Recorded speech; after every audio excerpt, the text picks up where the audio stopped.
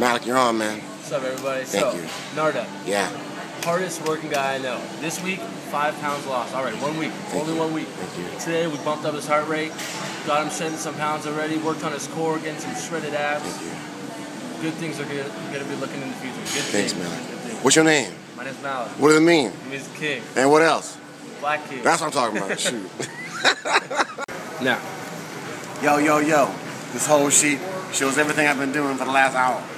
Malek the Black King and killing on me. Been killing on me, but I love it. And then I'm like masochistic. You know, because I wanna I wanna be hot and sexy fly for the future. All right now. Peace out.